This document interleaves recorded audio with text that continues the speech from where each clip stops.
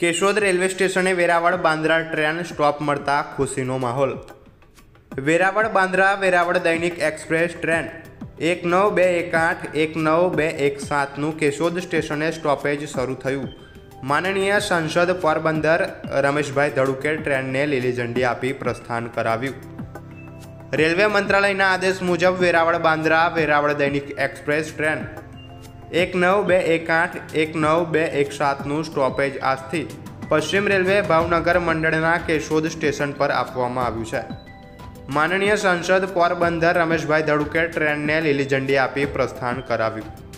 વેરાવળથી Bandra terminus train number એક નવ બે એક આઠ આજથી કેશોદ સ્ટેશન પર ઊભી રહી જેનું આગમન અને પ્રસ્થાનનો સમય અનુક્રમે બાર વાગ્યે સત્યાવીસ મિનિટે હતા.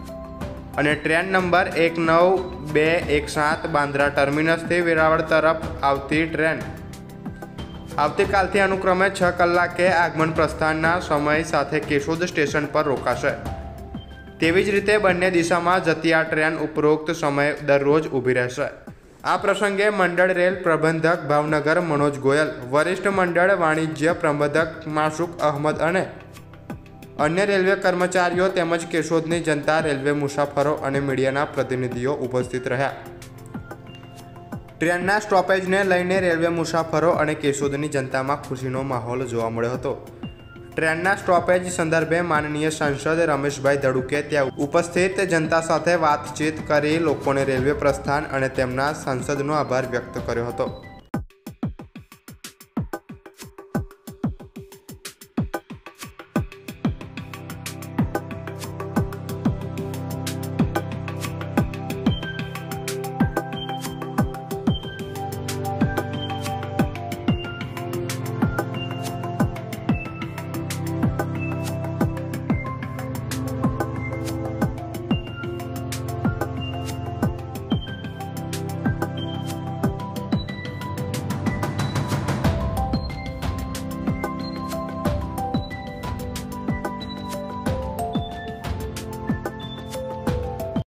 આજે કેશોદ મુકામે વેરાવળ, બાંદ્રા જે ટ્રેન છે, એના સ્ટોપ માટે ઘણા સમયથી આ વેપારી મંડળ અને બધા આગેવાનો અમારા ભારતીય જનતા પાર્ટીના આગેવાનોનો અને વેપારી મંડળની બહુ જ રજૂઆત હતી.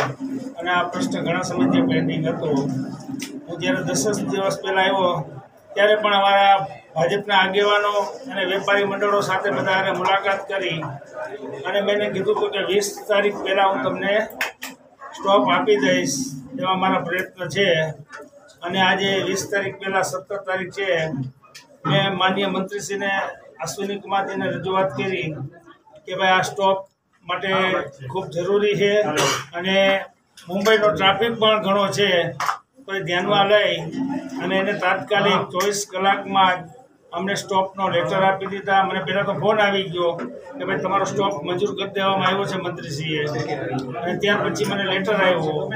એટલે ખૂબ સરસ આનંદની વાત છે. લોકોને મુંબઈ જવાવાળાને ક્યાંય જુનાગઢ નહીં જવું પડે કે વેરાવળ નહીં જવું પડે. ડાયરેક્ટ કેશોદ ઉતરી શકશે અને જઈ શકશે એવું સરસ મજાનું આયોજન થઈ ગયું છે. અને ડીઆરએમ સાહેબે પણ ખૂબ સારી મહેનત કરી છે આપણી.